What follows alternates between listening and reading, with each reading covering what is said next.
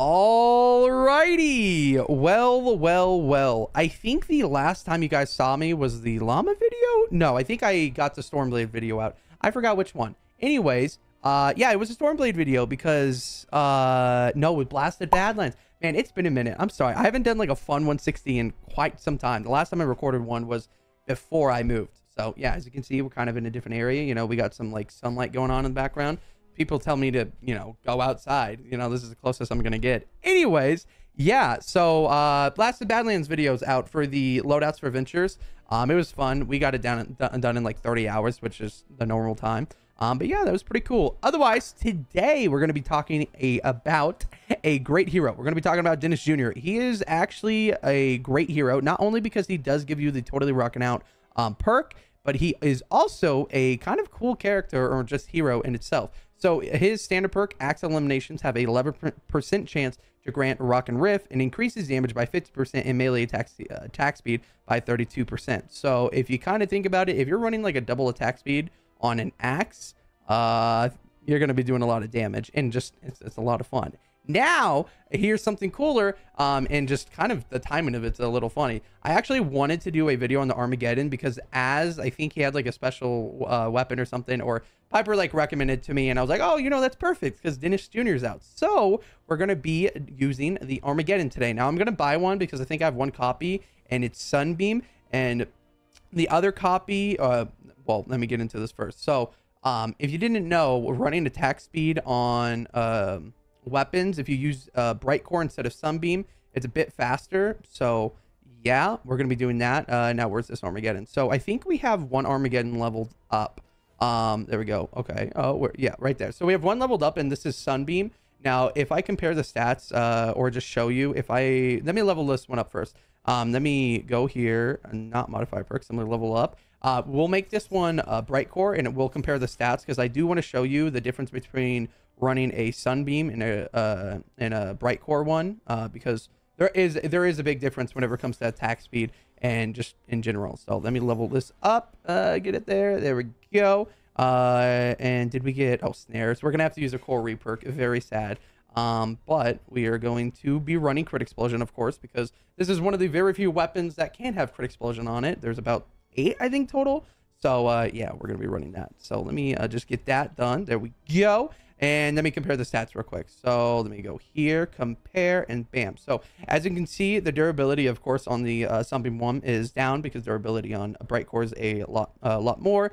But if you look, the attack speed is up uh, whenever it comes to the Brightcore one.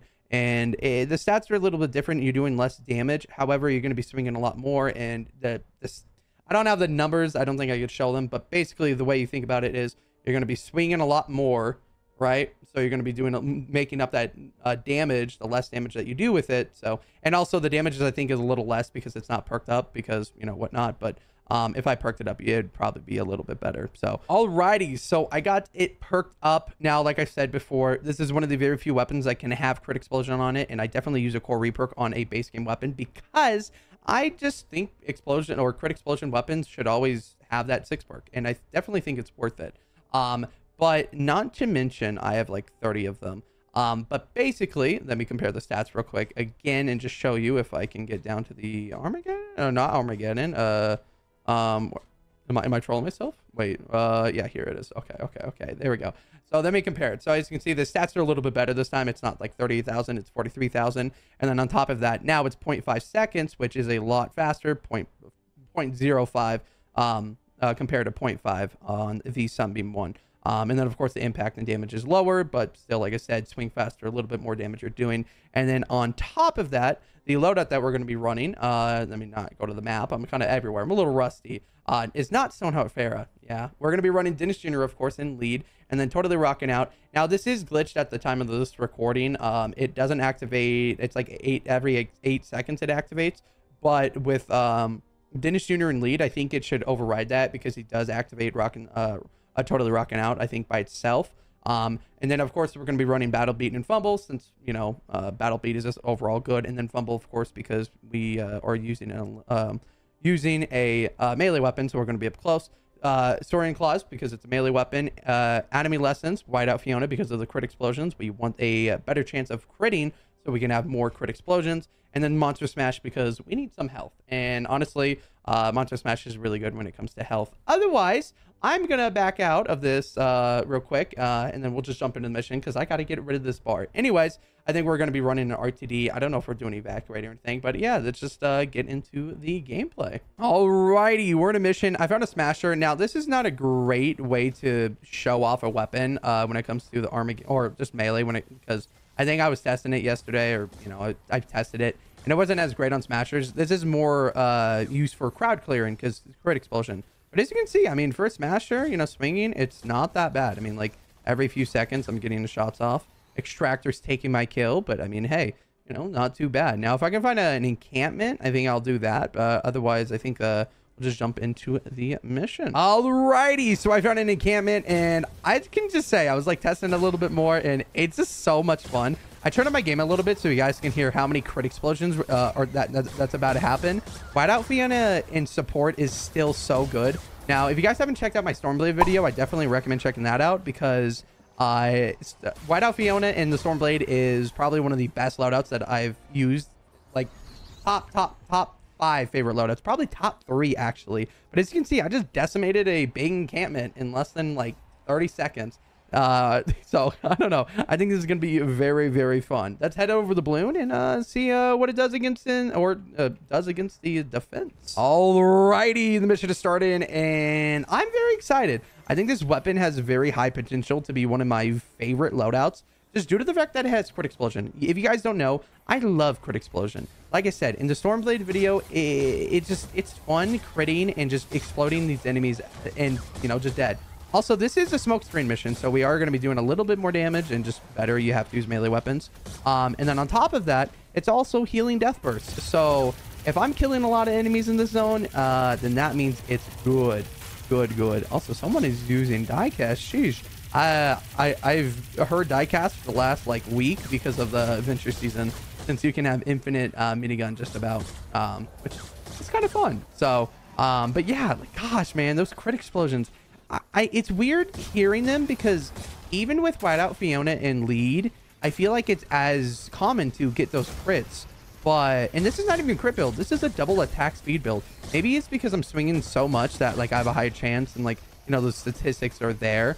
Um, now, this is a fire zone and I'm going to be taking a little bit more damage because fire, if you don't know, fire enemies give like affliction off on your, your or they do affliction to you. They kind of like burn you, which I hate. It's one of my least favorite uh, things about Fiber Husk, uh, Fire Husk.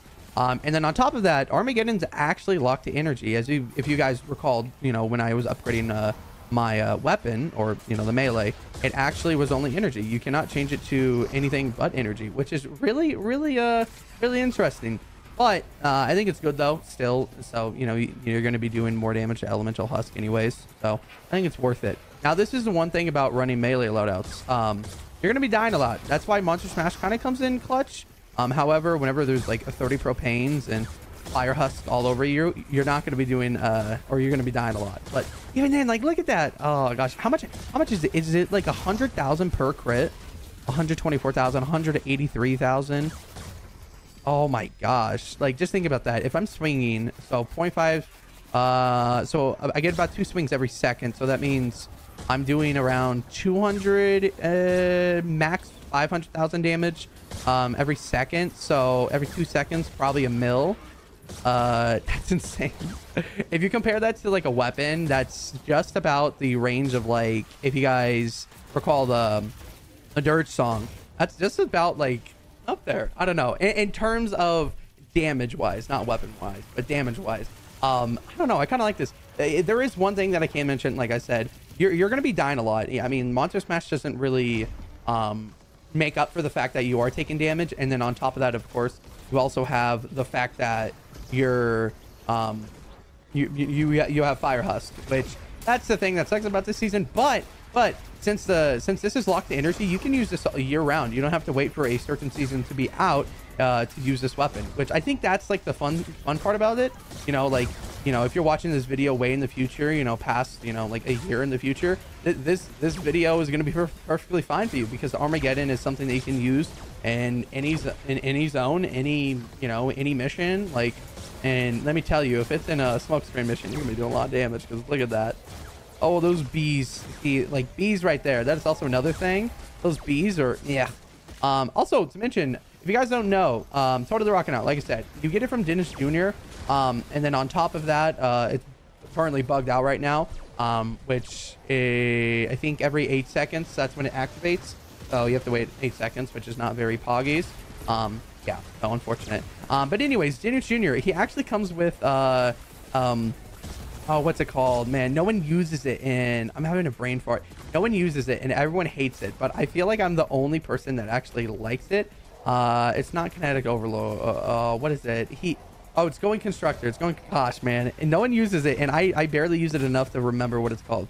But I've made a uh, going constructor loadout for dungeons before. A lot of people hate me for it, but I think it's worth it. I mean, I think it's pretty cool.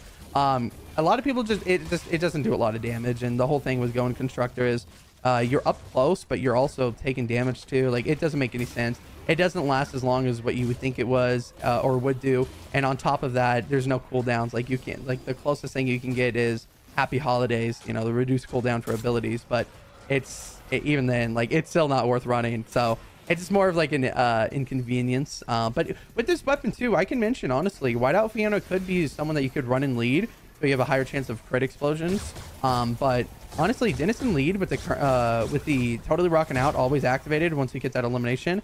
I think it's worth it. Like I feel like Whiteout Fiona it crits as much, so maybe like it's kind of like a bonus. And then on top of that, actually, I always forget this. If I'm not running Ice King or like base Kyle, I always forget I'm I always forget about my base because I just don't see Dennis Jr. as a base uh, character. I always thought he was like gonna be like a um, someone that had a minigun, like a soldier, or maybe even an Outlander. No, I don't see him as an Outlander. I think a soldier, but he is definitely a uh, constructor, which is really weird in my eyes. Gosh, man, look at that mist monster, just dead. Also, I think the mini boss spawned, but I think it was probably it must have been uh, trap vulnerable. That is very sad. Dang, that thing, yeah, the thing got fried. Holy. Okay, okay, okay. No, but yeah, I don't know. I'm actually kind of enjoying this loadout. It's not that bad. And the crit explosions on it occurs way more than I expected it to, um, which is always a plus, um, especially with crit explosion weapons. Gosh, man. Maybe I should do a series on all the crit explosion weapons. There's only eight, so it wouldn't be that long of a series, but it would be a fun one. Gosh, just look at it. Oh, yeah. Just taking in its, all its glory. Just fries all these enemies. Healing Death Burst 2 and everything. Just instantly gone. I can't even see half the enemies because of the smoke screens, but I know they're not there because I hear the crit explosions going off and I hear them die. you just look. They can't even make it to the base. Like, just look. Ready? Oh, and look at that monster smash. She comes in clutch. I'm taking so much damage right now, but it comes in clutch. Like, oh, man. Oh, it's so... It's so nice. I don't know. I don't know. I'm just a sucker for crit explosions. That's what it is. Oh, goodness. Oh, yeah. There you go. Easy peasy. And just, it's a one swing and they're pretty much dead. And then the explosion clears all of the enemies too. Like, tell me not you wouldn't want to run this loadout. Yeah, honestly, I think it's really fun. Oh, I thought that was a, a, a team, that teammate that was down. Um, but yeah, uh, here we come uh, with all the uh, slingers and lobbers. Um, that's not fun. Um, but yeah, honestly, so far, I think this is probably going to be one of my favorite loadouts that I run. And Armageddon itself, like I said, it's a fun weapon, uh, just especially because of the crit explosions. But uh, yeah, that's that's pretty much it. I mean, I, I think I've just showed how crazy uh, uh, the Armageddon can be. And then on top of that, uh, I think I think I think running running uh, Dennis Jr. in lead is not necessary, but I think just due to the fact that I can have totally rocking out almost activated every single like time I swing, that's like a plus. That is definitely a plus, especially since totally rocking out splits right now. So, um, but yeah, I think uh, we're coming to an end. I definitely do think you guys should try this loadout out. Also, I want to say thank you. Um, I think we're almost at 3,200 already, and we just hit 3,100 like a week ago. So thank you so much for all the new subscribers. Welcome in. Um, big shout out to y'all. Um, really do appreciate all the subscribers and, and all the love. You guys been blowing up the videos and just loving the content. So really, really do appreciate it. Otherwise, that is it for the Dennis Jr. and Armageddon combo. If you guys have any questions, comments, or if you just enjoyed the video, like down below, subscribe. I'd appreciate it. Otherwise, uh, remember, use code Mattio in the item shop. I'd appreciate it. it. It does support me. Helps me a lot. Otherwise, uh, look out for more videos. We're going to be covering uh, the a boombox weapon set this season, which is a lot of fun because of the dancing six perk. Otherwise, I'll catch you guys in the next one.